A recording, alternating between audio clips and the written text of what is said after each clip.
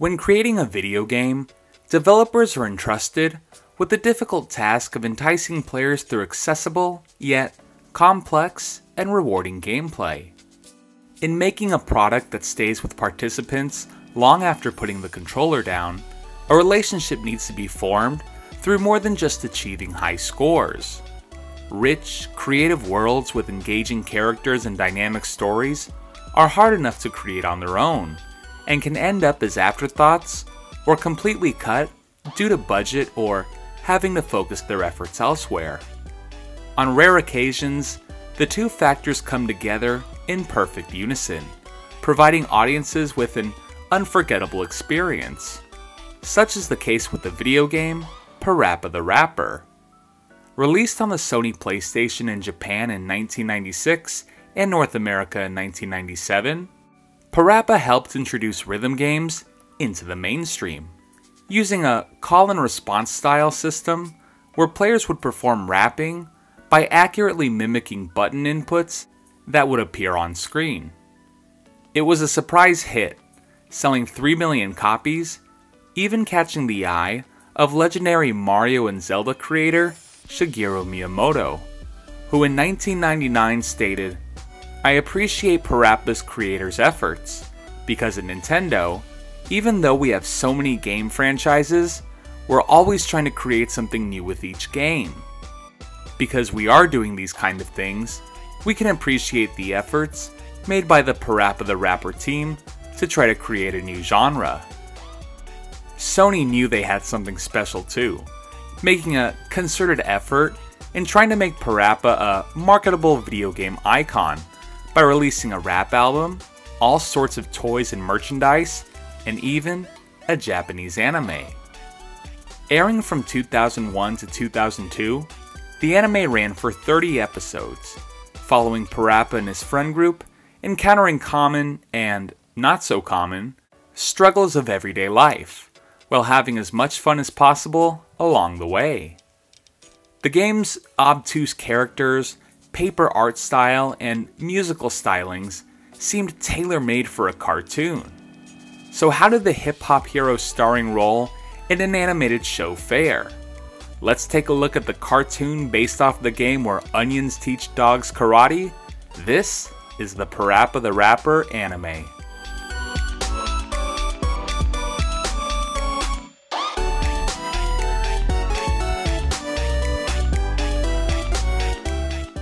The Parappa the Rapper video game was born from the mind of Japanese game designer Masaya Matsuura.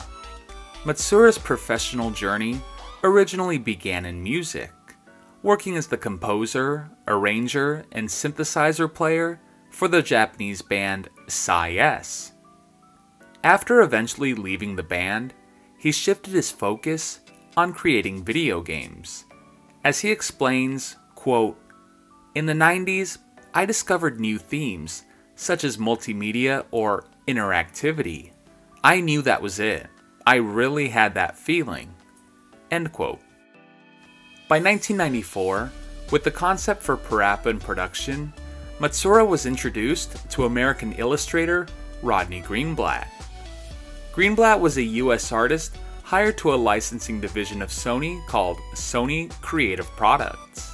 Quote, I was working for them designing cute characters for printed items and toys. The wonderful team at Sony Creative introduced me to Matsuura and his game project. Matsuura and his team were already fans of my children's books and CD-ROM productions. They asked me to design the characters and world for the new mysterious and fantastic PlayStation 1. The concept of a rhythm-based music game was new in mainstream gaming, asking the player to mimic the button inputs provided by characters in game. It was revolutionary, helping usher in an entirely new game genre that remains widely popular. For as profound as the introduction to this new style of musical gaming was, equally recognized was the game's unforgettable art style.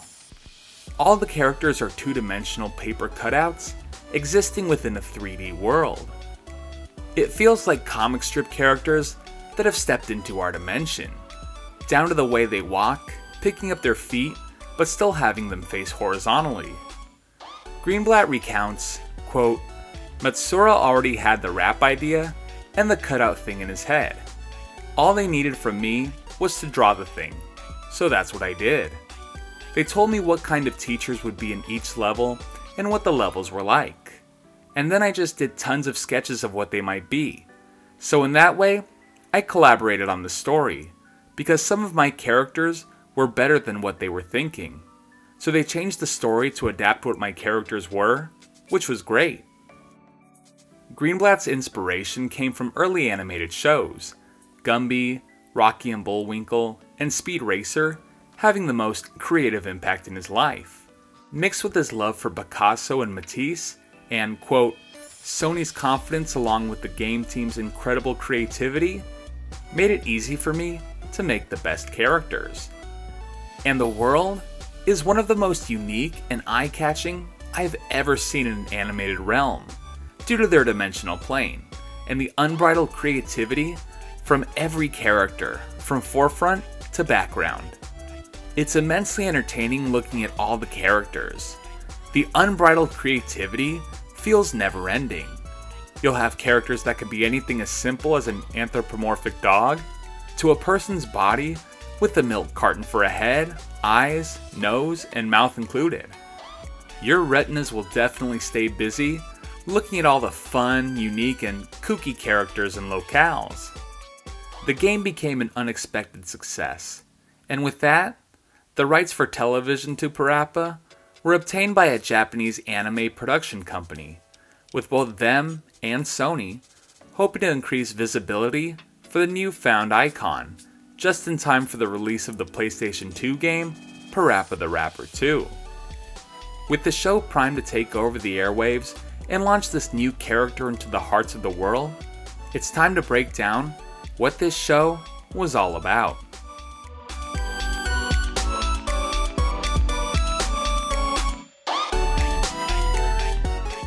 In making the move from game to TV, a number of characters made the trip, starting with the game's lead protagonist, Parappa. The star of the show, he's an optimistic yet intensely overanxious kid. In between hanging with his friends and intermittent daydreams, he's usually found pining for his friend and crush, Sunny. Next, we have PJ, the effortlessly cool guy of the group PJ's life consists mainly of oversleeping, overeating, and DJing at the local dance hall. There's Katie, the trendy posh girl. Her fashion sense and cool disposition are rivaled only by her unapologetic attitude. And finally, rounding out the original crew is Sunny, the sugary sweet flower girl. She's a kind soul who's always wanting the best for her friends and completely oblivious to Parappa's love for her. The cast didn't end there though, adding four additional characters created specifically for the show, beginning with Matt, the blank slate vessel for the audience with a refreshingly strong identity. He's an eager go getter that's always searching for ways to better himself and the group of friends. Paula, the fiery girl fresh to Parappa Town, She's even keeled with an indifferent demeanor until there's an injustice she disagrees with, where she'll readily fly off the handle for what she believes in. And finally, Gaster and Gruber, the main antagonists, if you can really call them that. They scheme and plot for ways to get rich or send Parappa Town into turmoil. Their plans are usually foiled by Parappa's crew or their own bad luck. Now, adding four new characters to accompany the existing ones was a risky move. It was understandably done to expand the universe, and it could have been a major weakness had it not been handled well. Fortunately, not only do the new kids fit in alongside Parappa's team, they feel like they've always existed.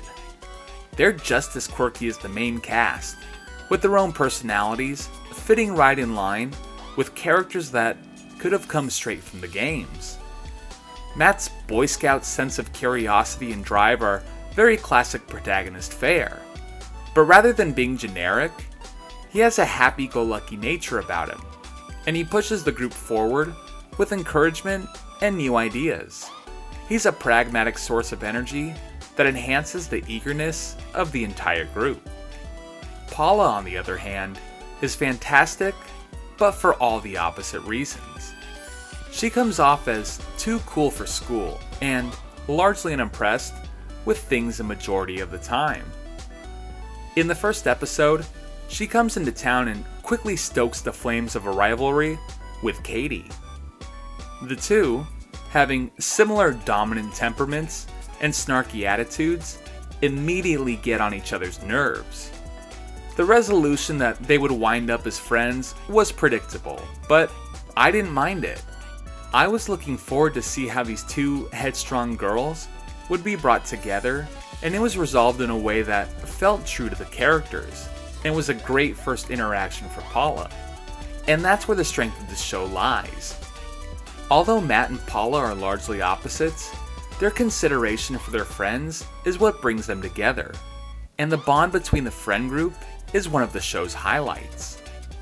The six openly care for each other, and rather than coming off as forced or hokey, there's a very real charm and sweetness that breeds a contagious positivity.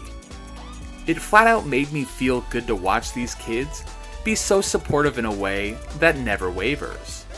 It's a group of friends that want to see one another succeed, and the goodness that fuels their intentions is energizing. At the other end of that spectrum are Gaster and Gruber, the two bad guys who want to spread fear and ruin through Parappa Town. Gaster is the half brain of the duo's operation, always devising get rich quick schemes and plans of wanton destruction. His sidekick Gruber is a big round cat, who's more of the dopey fall guy, but also the one who pokes holes in Gaster's plans. Gaster and Gruber are essentially part of the main cast, just lurking in the shadows. And what was funny to see as the series continued was how their plans escalated. In the very first episode, the entire plot revolves around Gaster stealing Parappa's bicycle, which is standard enough fare. Later in the series, they pose as owners of a sushi restaurant in order to drill into the bank vault located next door. I've seen similar plans in movies, so it's not that far fetched. But maybe their wackiest scheme involves stealing a star baseball player's oversized banana in an effort to kidnap him, then force him to sign autographs for eternity to make them millionaires. I have never heard of that. It's certainly a long way from bike theft and offers another fun surprise for the audience to look forward to. And these two plans act as another offering of a surprise for the audience to look forward to. Now, some side characters from the games do make an appearance, such as Parappa's dad and even a few rap senseis, mixed in with the new characters that pop up in every episode, which mesh well together and are enjoyable and seamless as they interact. Any of these characters could have been incorporated into the games with little strain, and that's a point in favor of the show's writers.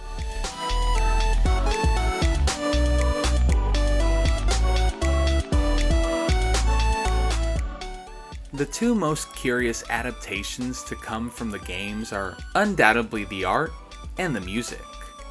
Starting with the art side, the game had the blend of 2D characters interacting in a 3D world.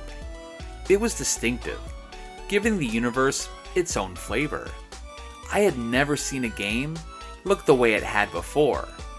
And the closest now that I can equate it to would be the Paper Mario series. But that's solely based on the paper aesthetic. The difference here is that Paper Mario leans into the characters actually being constructed of paper. Parappa, on the other hand, stays away from that concept and maintains that they still exist in the third dimension but just happen to be two dimensional beings. The anime didn't end up using this style, possibly because of the cost and difficulty rendering 3D environments at the time. But if it was done at a lower budget, I think it would have been in line with what the games presented, colorful locations that were memorable for how silly they were. Instead, the entire show is animated in 2D, which isn't a bad thing in any respect.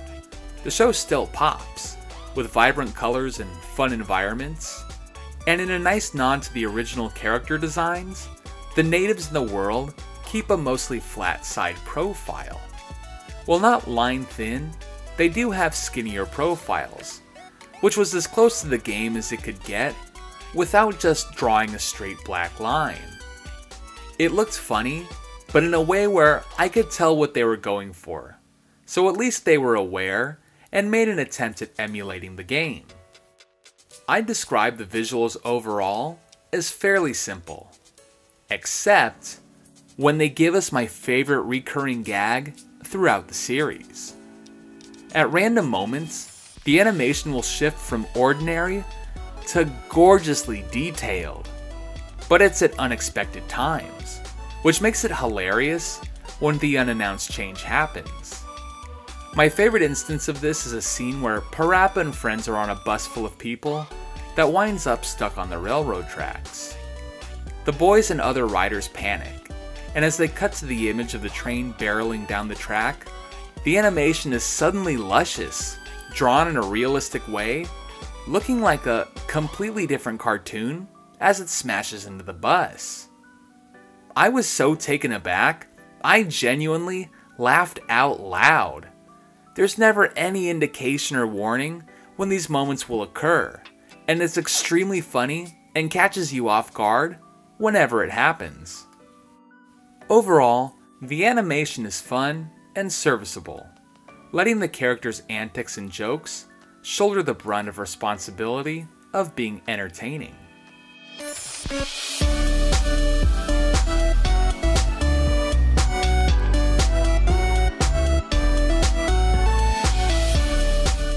The show itself is your typical comedic ensemble sitcom.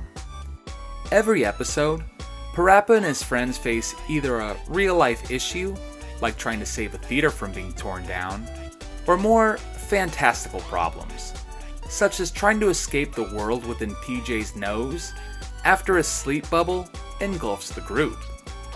And that's where the show really shines, with its humor. The Parappa games have always had surreal ideas and themes to them, and this cartoon is no exception.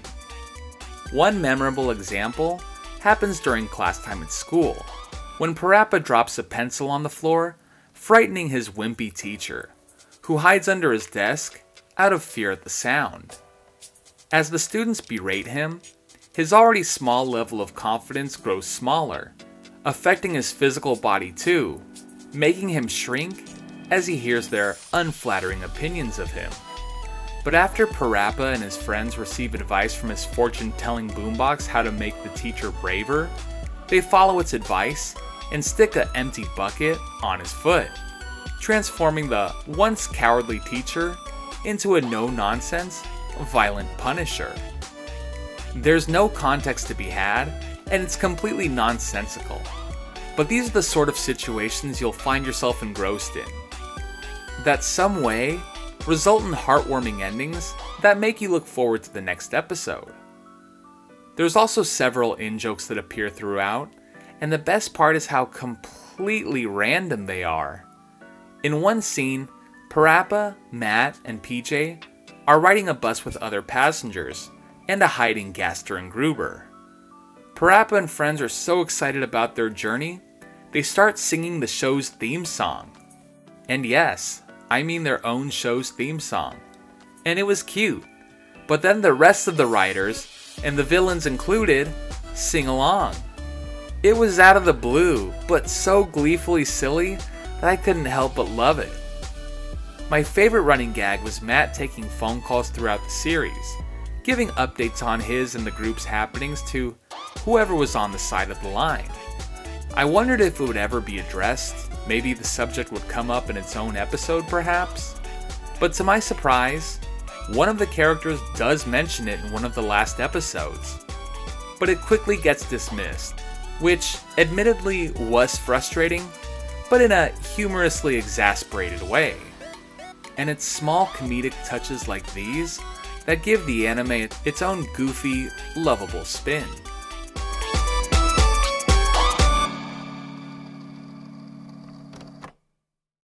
As quirky fun as the show is, there are some choices that could have aided in making it even better.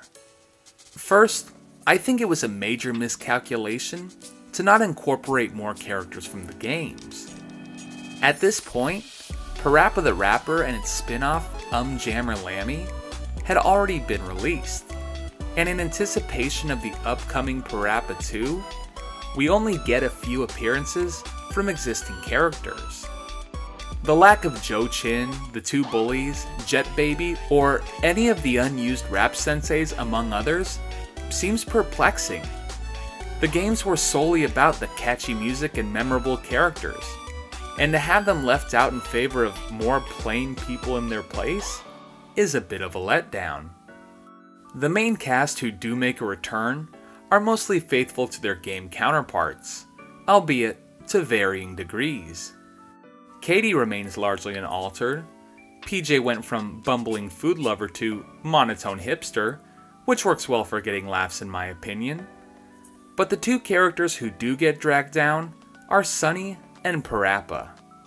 Sunny is the one character in the entire series that I would dread being on screen, which is ironic, because in the games, if there was a scene, I knew there would be a funny Parappa in love reaction coming up, and she was a calming presence in a planet full of lovable weirdos.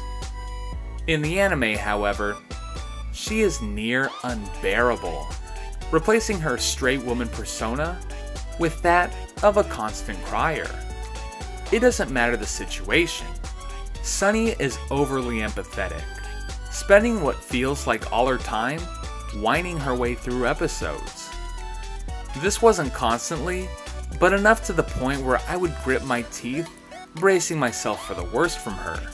Which is too bad, because I enjoyed in the games her wide eyed passion for life and obliviousness towards Parappa's affections. Regarding Parappa, he's still the do gooder we've come to love, but his persona is less in line with his original one, and not for the better. While he wasn't always the most decisive, or maybe had pie in the sky thoughts that could be brought back to earth by the harsh realities of life, he still came off as a good guy who was just figuring life out. This version of Parappa sees him practically afraid of everything life has to offer. He's always expecting failure, and spends a good amount of time worried, panicking, or straight moping over things not going his way. In an episode where he accidentally breaks a store window and has to find a way to earn the money to fix it, he's understandably feeling down about his predicament, but his friends volunteer to get jobs to help him pay off his debt. Instead of celebrating their sacrifices, he continues to feel sorry for himself, saying that he won't be good at any jobs, as the others struggle working as new employees. Now, to be fair, this is the most extreme low point Parappa himself falls to, but he still leans much more into this direction than how he's represented in the games. And for a hero whose catchphrase is, I gotta believe, that's the one thing he doesn't do very frequently. I think there's a deeper reason to this, which leads me to my biggest problem with the series the lack of music. What a poor decision to not have any music featured in a show based off a musically themed game. Aside from ambient songs, which are toe tappers, there are a few actual songs that do play. The show's two theme songs play every episode, which I was always excited to hear and looked forward to when they would get played, be it in montages, as a vinyl disc at Club Fun. It was always a neat surprise to see how they would be integrated. And I never got sick of them because they're so good. Even the end credits theme was a jam. You know it has to be when you sit through the credits just to listen. Sadly, however, this is the extent of the soundtrack. There is not one song or scene where Parappa even does as little as rhyme. And this is where I think the tie to his character is directly affected. In the games, Parappa encounters inconveniences and problem situations at his every turn, but gains the confidence to face these troubles through rap. Without him rapping in the show, they never created a replacement solution that was consistently used. So instead of him using music to solve his problems, he primarily relies on his friends to get him out of precarious situations. And while that's fine, it feels more that he's being rescued than getting through situations fully on his own. Forget for even a moment that it could have been potentially used to move the plot forward or develop Parappa's character, but how great of a tie in to the past and future games would that have been? Presenting the video game rappers old and new to viewers, getting them interested in what the games might have to offer, and who knows, maybe the songs from the show would have been good enough to be featured in an upcoming Parappa game, as feature tunes or maybe hidden ones. I wouldn't call this an oversight, merely due to the fact that this had to have been discussed when working on the show in pre production, but it was a choice that, for whatever reason, was made, and left so much untapped potential.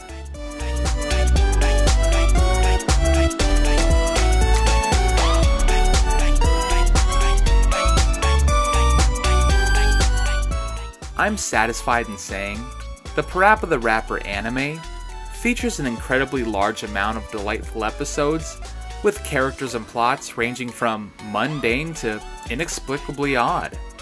The following are my five favorite episodes. Episode 7 You Sure Are Bougie. Parappa and friends attempt to help a firefighter named Puddle end up with the woman he loves, in spite of her father's wishes. The seventh episode of the series, but the first to feature one of the game's rap senseis, the kids come across Puddle, as seen in Unjammer Lammy, who is distraught that he can't be with the woman he loves due to her father's disapproval.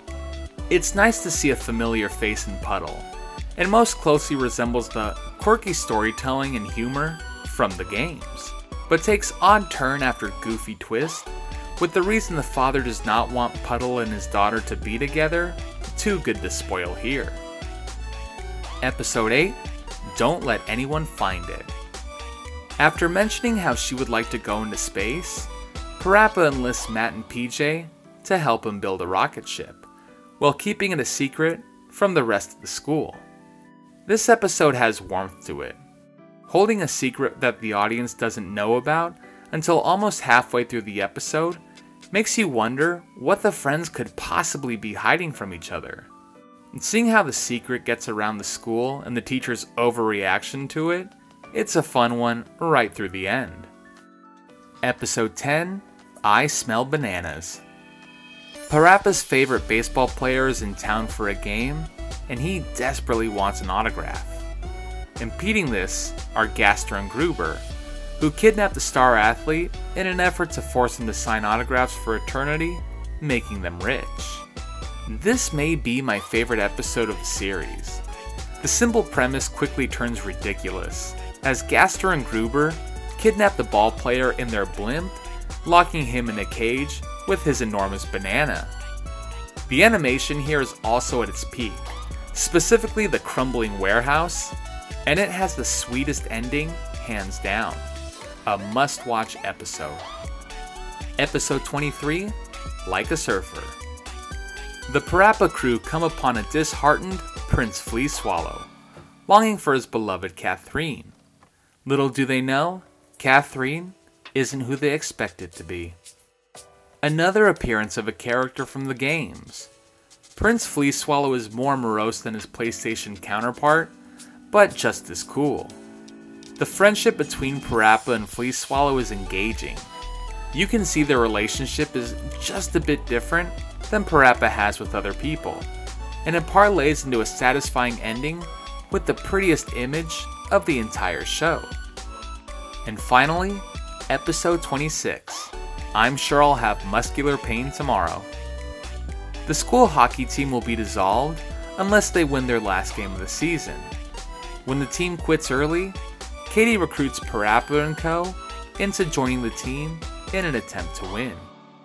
A rare episode centered around Katie, Her true intent for saving the hockey team is a mystery, as to why, conceived by the gang. The group's effort to help out are inspiring, and seeing them in more action oriented roles is a great change of pace.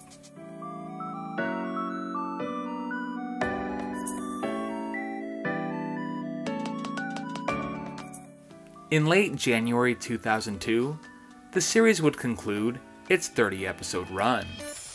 Unfortunately, the show didn't move the needle for Parappa's popularity as originally wanted. During the time period it aired, or shortly after, depending on your country, Parappa the Rapper 2 would release on the PlayStation 2, offering more of what fans and critics loved from the first Parappa game and its spin off Um Jammer Lammy.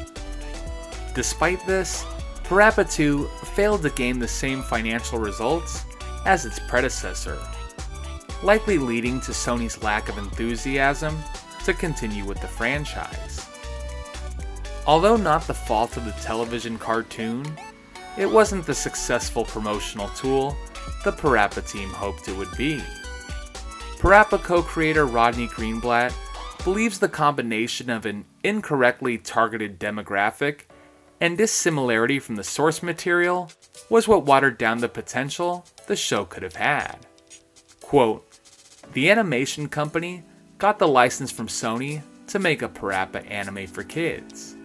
I was really disappointed. I really thought it should be like the original game. Not exactly for kids and not exactly about kids, but just this crazy world where these characters would do anything and it would be really fun and wild. The show really wasn't very fun. It's got its moments, but compared to the games, it's so tame. It's a schoolyard, kids are in class. It's so funny because none of that happens in the games. It could have been a hit if we kept the music and the whole thing going. I think we could have had a pretty great show, but it was okay for what it was. It had its problems. Since then, the Parappa franchise has largely remained dormant. 2006-2007 saw the original Parappa game released on the PSP in honor of the franchise's 10 year anniversary. And in 2017, a 4K remaster came out on the PlayStation 4. In 2012, Parappa made an appearance as a playable character in the fighting game PlayStation All Stars Battle Royale. But despite these occasional pop ups of the hip hop hero, there still has not been a proper new entry into the series. The drought of Parappa games has been an enduring one, but for those looking to satisfy their craving for more content featuring the hip hop dog, despite Greenblat's contention, I find the anime to be a fantastic companion piece. The characters still retain the likability displayed in the games, and it maintains the happiness and cheer blended with an off kilter sense of humor, lacking even the slightest bit of malevolence. Though the Parappa the Rapper anime ultimately was a failed marketing tactic to try and sell an upcoming video game, what resulted was the production of a wholly enjoyable cartoon, filled with an abundance of joy. And while the anime never became the smash hit it was supposed to be, it was another enjoyable starring vehicle for gaming's greatest rapper that does honor to its source material. And in my mind, that makes it a success.